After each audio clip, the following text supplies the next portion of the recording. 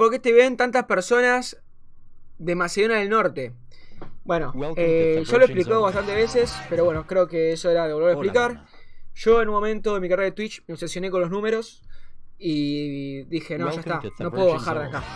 Entonces lo que hago cada stream es contratar bots. Y los bots pueden ser de Macedonia del Norte, pueden ser, no sé, de Mongolia, de Kazajistán, de Argentina, ¿por qué no? También. Y bueno, nada, básicamente mi stream está lleno de bots. Y bueno, esa es la razón de Improviso Paz. Hay gente de diferentes países.